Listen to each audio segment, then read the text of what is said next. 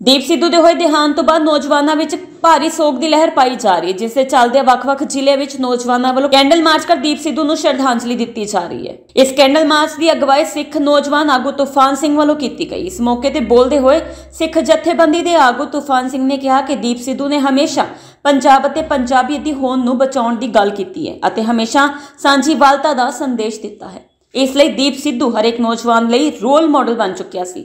ਉਸ ਦੀ ਬੇਵਕਤੀ ਮੌਤ ਨੇ ਨੌਜਵਾਨਾਂ ਦੇ ਮਨਾਂ ਨੂੰ ਕਾਫੀ ਠੇਸ ਪਹੁੰਚਾਈ ਹੈ। ਇਸ ਲਈ ਅੱਜ ਨੌਜਵਾਨਾਂ ਅਤੇ ਬੱਚਿਆਂ ਨੇ ਦੀਪ ਸਿੱਧੂ ਦੀ ਆਤਮਿਕ ਸ਼ਾਂਤੀ ਲਈ ਅਤੇ ਉਸ ਨੂੰ ਸੱਚੀ ਸ਼ਰਧਾਂਜਲੀ ਦੇਣ ਲਈ ਕੈਂਡਲ ਮਾਰਚ ਕੱਢਿਆ ਅਤੇ ਕਿਹਾ ਕਿ ਅੱਜ ਹਰ ਇੱਕ ਨੌਜਵਾਨ ਨੂੰ ਦੀਪ ਸਿੱਧੂ ਦੀ ਸੋਚ ਤੇ ਪਹਿਰਾ ਦੇਣਾ ਚਾਹੀਦਾ ਹੈ ਤਾਂ ਜੋ ਪੰਜਾਬ ਅਤੇ ਪੰਜਾਬੀਆਂ ਦੀ ਹੋਂਦ ਨੂੰ ਬਚਾਇਆ ਜਾ ਸਕੇ। ਗੁਰਦਾਸਪੁਰ ਤੋਂ ਰੋਹਿਤ ਗੁਪਤਾ ਦੀ ਰਿਪੋਰਟ ਲਾਈਵ ਭਾਰਤ।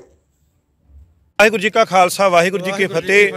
ਅੱਜ ਗੁਰਦਾਸਪੁਰ ਦੇ ਵਿੱਚ ਮਿਤੀ 22 ਤਰੀਕ ਨੂੰ ਜਿਹੜਾ ਸਾਡਾ ਭਰਾ ਦੀਪ ਸਿੰਘ ਸਿੱਧੂ, ਜਿਹੜਾ ਉਹਦੇ ਨਿਮਿਤ ਉਹਦੀ ਜਿਹੜੀ ਡੈਥ ਹੋ ਗਈ ਆ, ਉਹਦੇ ਸਬੰਧ ਦੇ ਵਿੱਚ ਉਹਦੀ ਚੜ੍ਹਦੀ ਕਲਾ ਵਾਸਤੇ, ਉਹਦੀ ਰੂਹ ਦੀ ਕਲਿਆਣਤਾ ਵਾਸਤੇ, ਆਤਮਿਕ ਸ਼ਾਂਤੀ ਵਾਸਤੇ ਗੁਰਦਾਸਪੁਰ ਦੀਆਂ ਸਮੂਹ ਸੰਗਤਾਂ ਵੱਲੋਂ ਸਮੂਹ ਸਾਰੇ ਧਰਮਾਂ ਜਾਤਾਂ ਪਾਤਾਂ ਨੂੰ ਇੱਕ ਲੈ ਕੇ, ਵਰਗ ਨੂੰ ਇੱਕ ਲੈ ਕੇ, ਜਾਤਾਂ ਪਾਤਾਂ ਤੋਂ ਉੱਪਰ ਉੱਠ ਕੇ, ਧਰਮ ਜਾਤੀਵਾਦ ਤੋਂ ਉੱਪਰ ਉੱਠ ਕੇ, ਏਕਤਾ ਦਾ ਸਬੂਤ ਸੰਭੇ ਸਾਂਝੀ ਵਾਇਰਸਦਾਂ ਕੋਈ ਨਾ ਦੱਸੇ ਵਾਰਾ ਜੀ ਉਹਦੀ ਆਤਮਿਕ ਸ਼ਾਂਤੀ ਵਾਸਤੇ ਜਿਹੜਾ ਮਾਰਚ ਕੱਢਿਆ ਗਿਆ ਆ, ਉਹਦੀ ਚੜ੍ਹਦੀ ਕਲਾ ਵਾਸਤੇ ਤੇ ਇੱਥੇ ਵੱਡੀ ਤਾਦਾਦ ਦੇ ਵਿੱਚ ਸੰਗਤ ਆਈ ਆ। ਆਪਾਂ ਸਾਰਿਆਂ ਦਾ ਧੰਨਵਾਦ ਕਰਦਾ। ਇਹ ਸੰਦੇਸ਼ ਸਾਡਾ ਇਹੋ ਹੀ ਆ ਵੀ ਜਿਹੜਾ ਦੀਪ ਸਿੰਘ ਸਿੱਧੂ ਸਾਡਾ ਭਰਾ ਪੰਜਾਬ ਤੇ ਪੰਜਾਬੀਅਤ ਨੂੰ ਲੈ ਕੇ ਪੰਜਾਬ ਦਾ ਦਰਦ ਰੱਖਦਾ ਸੀ, ਨੌਜਵਾਨਾਂ ਦਾ ਦਰਦ ਰੱਖਦਾ ਸੀ, ਬਜ਼ੁਰਗਾਂ ਦਾ ਦਰਦ ਰੱਖਦਾ ਸੀ, ਜਿਹੜੀ ਖੇਤੀ ਕਿੱਤਿਆਂ ਦੇ ਵਿੱਚ ਦਰਦ ਰੱਖਦਾ ਸੀ, ਉਹਨੇ ਤਿੰਨ ਖੇਤੀ ਕਾਨੂੰਨ ਰੱਦ ਕਰਾਉਣ ਦੇ ਵਿੱਚ ਉਹਨੇ ਵੱਡਾ ਰੋਲ ਅਦਾ ਕੀਤਾ।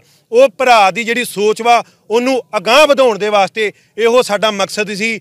ਸਾਡਾ ਹੋਰ ਕਿਸੇ ਵੀ ਕਿਸੇ ਵੀ ਚੀਜ਼ ਦੇ ਨਾਲ ਰਾਜਨੀਤਿਕ ਪਾਰਟੀ ਆਪਾਂ ਉਹਦੇ ਤੋਂ ਲਾਂਭੇ ਹੋ ਕੇ ਸਿਰਫ, ਕਿਉਂਕਿ ਸਾਰੇ ਧਰਮਾਂ ਦੇ ਇੱਥੇ ਸਾਡੇ ਹਿੰਦੂ ਭਰਾ ਵੀ ਆਏ ਨੇ ਇੱਥੇ ਸਾਡੇ ਜਿਹੜੇ ਈਸਾਈ ਬਰਾਦਰੀ ਵੀ ਆਏ ਆ, ਉਹਨਾਂ ਦਾ ਸਤਿਕਾਰਯੋਗ ਆ ਸਿੱਖ ਭਰਾ ਵੀ ਆਏ ਨੇ। ਇਹ ਕੱਲਾ ਸਿੱਖਿਆਂ ਦਾ ਨਹੀਂ ਸਿੱਖਾਂ ਦਾ ਨਹੀਂ ਆ। ਇੱਥੇ ਸਾਰੇ ਪੰਜਾਬ ਦੇ ਵਿੱਚ ਵੱਸਦੇ ਹਰ ਇੱਕ ਧਰਮਾਂ ਦੇ ਲੋਕ ਸਾਰੇ ਇਨਸਾਨੀਅਤ ਦਾ ਨਾਤਾ ਕਰਦੇ ਹੋਏ ਸਾਰੇ ਸੰਦੇਸ਼ ਦੇ ਰਹੇ ਆ।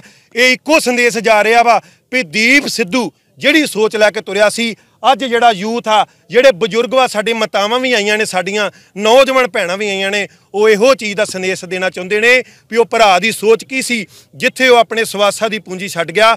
ਆਪਾਂ ਉਹਨੂੰ ਅਗਾਹ ਵਧਾਵਾਂਗੇ ਤੇ ਉਹਦੇ ਜਿਹੜੇ ਦੱਸੇ ਨਿਰਦੇਸ਼ਾਂ ਦੇ ਜਿਹੜਾ ਚੰਗੇ ਗੁਣ ਨੇ, ਉਹ ਗ੍ਰਹਿਣ ਕਰਾਂਗੇ। ਇਹ ਉਹ ਸਾਡਾ ਮੋਟਿਵ ਹੈ। ਵਾ- ਬਿਲਕੁਲ ਬਿਲਕੁਲ ਪੰਜਾਬ ਨੂੰ ਗਾਂਹ ਵਧਾਉਣਾ ਚਾਹੀਦਾ ਆ, ਪਰ ਉਹਦੇ ਵਿੱਚ ਜਿਹੜਾ ਮੁੱਦਾ ਇਹ ਨਹੀਂ ਵੀ ਇਕੱਲਾ ਸਿੱਖਾਂ ਦਾ ਹੋਵੇ, ਉਹਦੇ ਵਿੱਚ ਹਰ ਇੱਕ ਧਰਮ ਨੂੰ ਕਲਾਵੇ ਚ ਲੈਣਾ ਚਾਹੀਦਾ ਆ।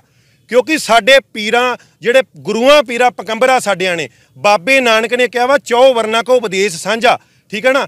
ਸਾਡੇ ਗੁਰੂ ਤੇਗ ਬਹਾਦਰ ਮਹਾਰਾਜ, ਉਹ ਦੇਖੋ ਹਿੰਦ ਦੀ ਚਾਦਰ ਬਣੇ ਨੇ। ਆਪਾਂ ਉਹਨਾਂ ਚੀਜ਼ਾਂ ਤੇ ਪਹਿਰਾ ਦੇਣਾ ਵਾ, ਗੁਰੂਆਂ ਸਾਡਿਆਂ ਤੇ, ਜਦੋਂ ਸਾਡੇ ਗੁਰੂਆਂ ਨੇ ਕਿਸੇ ਜਾਤੀ ਪਾਤੀ ਦੇ ਨਾਲ ਵੀ ਕੋਈ ਕੀਤਾ ਨਹੀਂ, ਉਹਨਾਂ ਨੇ ਇੱਕੋ ਪੰਗਤ ਦੇ ਵਿੱਚ ਪੰਗਤ ਪ੍ਰਥਾ ਚਰਾਈ ਆ, ਵੀ ਇਸੇ ਪੰਗਤ ਦੇ ਵਿੱਚ ਸਾਰੇ ਬੈਠਾਂਗੇ। ਆਪਾਂ ਵੀ ਉਹਨਾਂ ਦੀ ਸੋਚ ਦੇ ਮੁਤਾਬਕ ਦੀਪ ਸਿੱਧੂ ਦੀ ਵੀ ਉਹ ਸੋਚ ਸੀ ਤੇ ਸਾਰੇ ਨੌਜਵਾਨ ਵੀ ਨੇ ਉਹ ਸੋਚ ਰੱਖਦੇ ਨੇ, ਇਹੋ ਹੀ ਮੈਸੇਜ ਆ।